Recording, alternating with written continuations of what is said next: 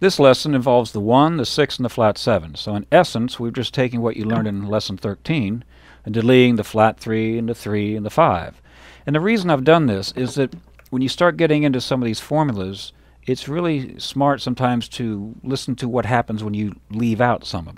And a lot of times you need a very lean approach. What I mean by that is don't get caught up in playing a lot of different notes. Try to find some color tones and work rhythmically. This is great for your rhythm guitar stuff too. So I've sped the tempo of our shuffle up just a little bit, and I'm going to show you, if you look at diagram 14, you'll see all the ones, the sixes, and the flat sevens.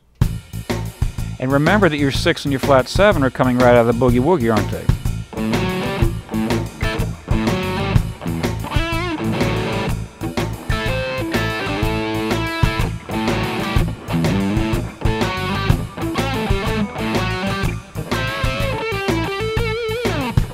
What am I doing here? I start. Look at where it's coming from. But I don't want to play the whole boogie woogie thing. It fills up the sound too much. I want more of a funk approach where I leave some space. I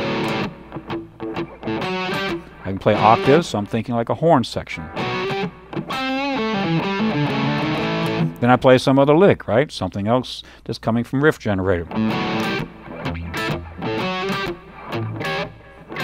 I throw in these punctuations, be them power chords, root and fifth structures, or guide tones, thirds and flat sevens. I'll do it again. One, two, and three.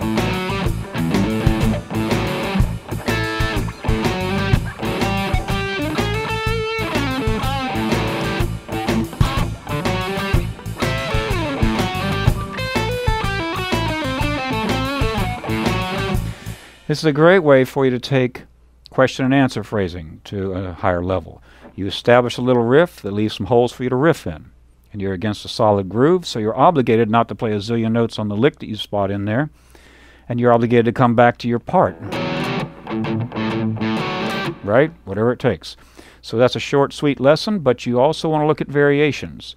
Here we're going one, six, flat, seven. Don't forget, turn the order of the notes around.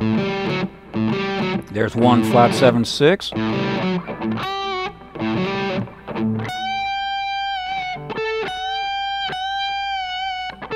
See, there's one flat seven to six. I can play a lot of variations. Flat seven one six, six, one flat seven. I mean, that's just a cool sound. Let me slow the tempo down, to a slow blues here.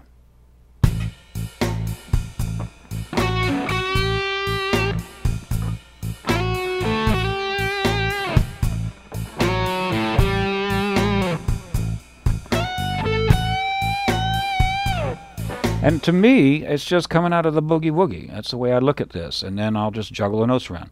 Six flat, seven, one. Again.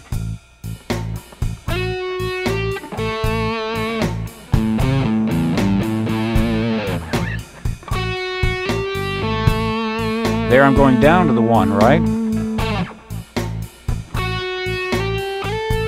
There I'm going up to the 8. So you might consider 6 flat 7, 8. And who said you have to stay within a realm of one octave? You could go...